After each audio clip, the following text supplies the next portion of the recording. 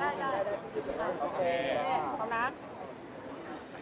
เต้าหยองจ๋าวันนี้ได้ข่าวมาว่าเหมือนทำตัวไม่ถูกเหมือนกันเพราะว่าเดี๋ยวจะต้องมีประกบนางงามด้วย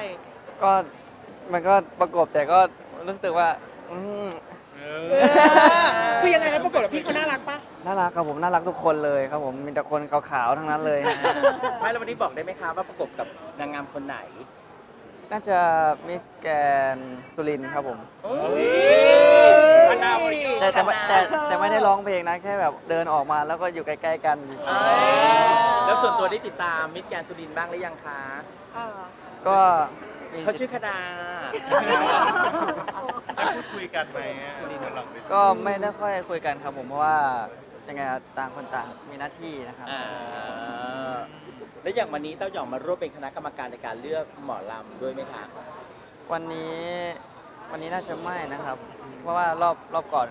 ก็คัดไปแล้ว ค่ะ อย่างรอบก่อนที่คัดไปเนี่ยถูกใจอะไรใครเป็นพิเศษไหมหรือว่ามองเห็นนางเอกคนใหม่ในวงเราไหมอะไรอย่างเงี้ยก็ผมถูกใจก็น่าจะเป็นพี่เดียนาครับผมซิสะเกต อ๋อก็อาจจะได้ร่วมงานกับพี่เดียนาใช่ไหม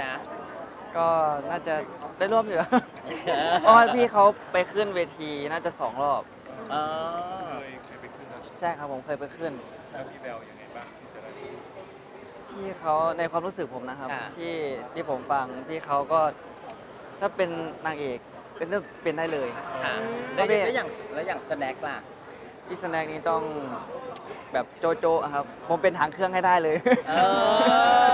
อเพราะเป็นหนังเครื่องให้สแน็คเลย อืมแล้วแล้วเธอยังได้มีการแบบเปรยอะไรกับเราไหมว่าแบบถูกใจใครเป็นพิเศษอะไรอย่างนี้ไหมในเจ็ดคนอย่างเงี้ย ก็พ่อก็ไม่ได้บอกอะไรครับ พ่อก็น่าจะมีครับแต่ไม่กล้าไม่กล้าบอก แต่เหมือนว่าบอกว่าก็อยากได้คนที่แบบว่าพร้อมร่วมงานทันทีเลย ใช่ครับพ่อบอกว่าเอาถ้าจะเอานางงามเป็นเอ่อนางเอกหมอลอืมำเอาแบบเหมือนพี่นาราแดนนะจให้มันจบฤดูกาลอะไรประมาณนี้แหละ อย่างปีที่แล้วเลยที่แบบว่าได้นาราแดนมา แล้วอยากเต้าหย่องร่วมงานกับนาราแดนเป็นอย่างไรบ้างพี่นาราแดนเก่งมาก ค่ะ อืม คือตอนไปไปตอนแรกอะพี่เขายังเก่งๆอยู่ แต่พอเริ่มไปสักพักคือประสบการณ์มันมันสอนไปเรื่อยๆครับ ค่ะ พี่เขาก็ใส่มงเองเอ้ยใส่เอ่อผมอะไรเองทุกอย่างหมายถึงว่าพอพอเป็นนางเอกแล้วใช่ครับ ก็กลายเป็นดาวรุ่งในวงระเบียบคนอีกคนหนึ่งเลย ค่ะ อะทีนี้มาผลงานเราบ้าง ละครตอนนี้เป็นไงบ้างคะ ละครตอนนี้ก็ของผมถ่ายไปแล้ว ยังไม่ถึงครึ่งเลย ถ่ายไปแล้วยังไม่ถึงครึ่งเลยครับ เออยากง่ายยังไงละมันครกับบทหนังมันก็ยากตรงที่คาแรคเตอร์ ซึ่งผมหลังจากที่เป็นแบบเด็กขี้ดื้ออะไรประมาณนี้ต้องกลายมาเป็นตำรวจ ตำรวจแล้วไม่ต้องมาปลอมตัวอีก เออแต่น่าจะสักไม่ใช่ แต่งเป็นผู้หญิงด้วยใช่ครับผม เออแต่งเป็นผู้หญิงด้วย คือตอนไปถ่ายโปสเตอร์อะ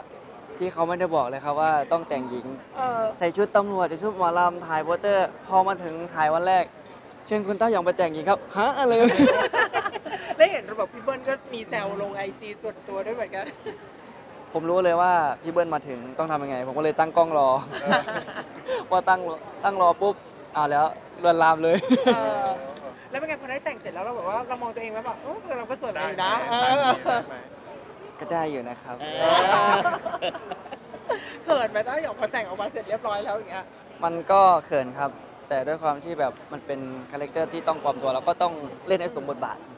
จริงๆตอนนี้เริ่มชินกับในเรื่องของบทบาทการแสดงไหมคะต้าวหยองแบบเราเล่นเก่งขึ้นอะไรอย่างเงี้ยหลายคนชมอะไรอย่างเงี้ย คือก็ก็นิดนึง แต่ไม่ถึงกับมาก เออ ปีนี้จะมีการแบบไปเรียนการแสดงเพิ่มไหมคะ ก็รอปิดฤดูกาลครับผมก็น่าจะไปอีกครับเพราะว่าคือยังไงอะเราเราเรียนน้อยน้อยไปอย่างเงี้ยเรายังไม่รู้ว่าอันไหนเป็นไหนแก้สถานการณ์เกี่ยวกับมองกล้องอะไรอย่างเงี้ยครับผมก็ต้องมีเพิ่มต้องอย่างเห็นว่าระเบียบวัฒนศิลป์มีการประประกาศรับสมัครแดนเซอร์เนาะอันนี้เราจะมีส่วนในการแบบช่วยพระเอกคัดเลือกด้วยไหมก็จะมีเอ่อทีมแอดมินนะครับผมอืม ต้องว่าสอบถามว่าอายุกี่ปี เราจะรับอายุ 15 ปีขึ้นไป ซึ่งเรียนจบแล้ว อืมเรียนจบแล้วแล้วก็ก็จะมีแบบว่าอัดวิดีโอส่งส่งคลิปมาว่าเอ่อแนะนำตัวอย่างงู้นอย่างงั้นถ้าได้แล้วก็จะเขียนปุ๊บปุ๊บปุ๊บว่ารอวันเปิดวงอีกรอบหนึ่ง แต่หนึ่งในนั้นจะมีเราจะต้องเป็นคนที่เช็คลีดที่น้องๆเข้ามาไม่ครับผม คือเราไม่ได้ฟิกว่าต้องเต้นเก่งต้องแบบ มีทักษะมาก่อน คืออย่างผมมาจากโซนผมก็มาเรียนรู้เอาข้างหน้าเอา แต่จริงๆปีนี้เนี่ยอย่างในเรื่องของท่าเต้นไวรัลมากๆ เปิดฤดูกาลนี้หลายคนเอาไป cover เต็มเลยเห็นไหมคะเต้าหยองก็เห็นครับผมก็ดีใจนะครับที่ทุกคนแบบมาเต้นร่วมแบบให้คนรู้จักเพิ่มขึ้นคือเป็นรู้จักท่าหมอลำเปิดใช่ไหมเขาเรียกท่าเปิดใช่ใช่ไหมครับถ้าเปิดคือแปลว่าตอนนี้ฤดูกาลนี้ถ้าจะเปิดในวงระเบียบก็คือต้องเป็นท่านี้เลย ใช่ครับแต่ไม่รู้ว่าจะถึงฤดูกาลหน้าไหม อย่างปีนี้เราจะมีมีเพลงเป็นของตัวเองเพื่อที่จะร้องในฤดูกาลนี้ด้วยไหมฮะฤดูกาลนี้ยังครับผมแต่มีติดเขาเอ๊ยต่ยัองไม่ให้ร้องเหรอ แต่มีติดต่อไป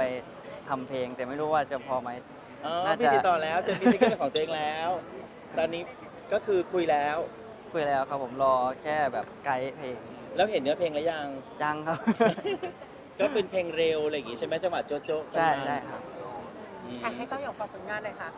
ครับผมก็ฝากผลงานด้วยนะครับผมไอ้หนุ่มรถไถนะครับผมเป็นเรื่องแรกนะครับผมละครเรื่องแรกเลยก็ว่าได้ ซึ่งละครเรื่องนี้นะครับผมเป็นบทที่ท้าทายมาก ท้าทายแล้วก็มันแบบ